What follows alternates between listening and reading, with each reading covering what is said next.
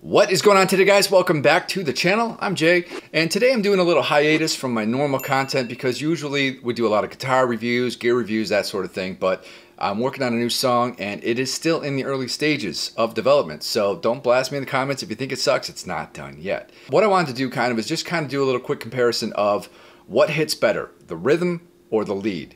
And in this instance, you know, I really can't decide which one I want to focus more or uh, rather I want to highlight more in this portion of the song. Is it the lead? It's kind of a simple melodic lead and the rhythm is simple as well. But another thing too I want to mention is that the rhythm tracks here are very simple, very non-technical. Anyone can pretty much play these. It's more of a groove, it's more of a feel thing for me. And uh, I think it hits pretty heavy. So I'll let you guys be the judge. Let me know in the comments down below which is better, the rhythm of the leads, both, neither, whatever your opinion is, is valid. And I want to hear from you guys. So this is just going to be a quick video today. Just popping in to say, hey, what's up? I'm still here. Uh, been busy, you know, it's summertime, going to the beach and doing all sorts of things and just staying busy, you know, life. So still killing it with the Ibanez uh, RGA 622. This thing is beautiful. Quick story about this guitar too is I didn't really know what tuning I wanted to put it in. I just knew I wanted to do a drop tuning of some sort, but nothing too heavy, nothing crazy with the uh, trem system there. So I ended up just sticking the guitar in D standard. And after like six different string gauges, literally, couldn't seem to get the right one. So I settled on uh, Ernie Ball 10 and a half to 48s for D standard. Might seem a little bit light to you guys, but I tried 11 to 52s or 11 to 54s, one of those, and they were just way too tight. I had to like just had to mess with the trem for so long and the screws in the back. It was like just a mess. I don't know. I couldn't get it right. I couldn't get the balance. I couldn't get the action just the way I wanted. So I stuck with this uh, 10 and a half to 48s and it just plays great. It sounds really good too. What I really like about this guitar as well is that tone zone in the bridge. Because if you're not familiar with the DiMarzio tone zone pickup, it's an old pickup. It's been around for a lot of years. Uh, it's just a staple. It's a standard.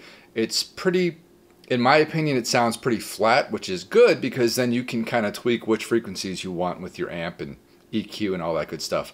Uh, it's not right out of the box like kind of crazy. It does have a little less treble than it does bass as far as the you know the profile of the EQ. But to me, it just sounds very flat and even, and it's an easy pickup to get along with because it's not a lot of harsh, brittle, high end that you have to dial out. That's you know killing your mix.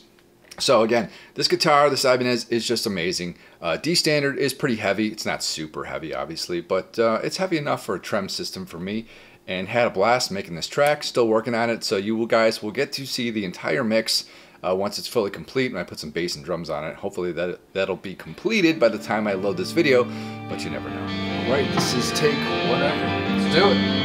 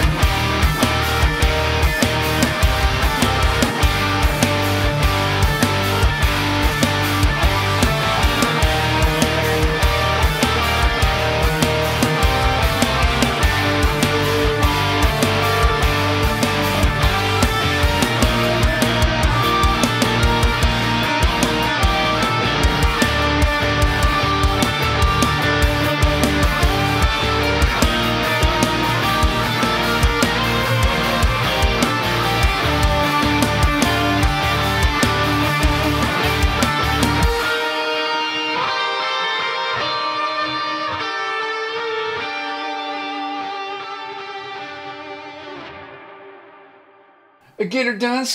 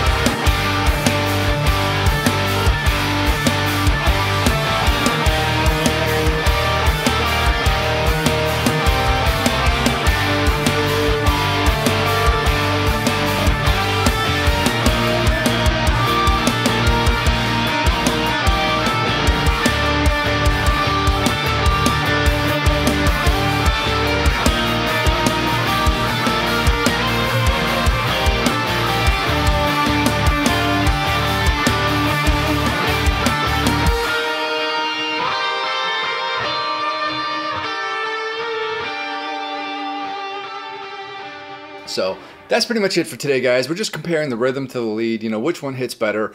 Uh, your opinions, let me know down below. Hit the like button, subscribe button, all that good stuff, and I'll talk to you guys soon in the next one. I'm out of here. See ya!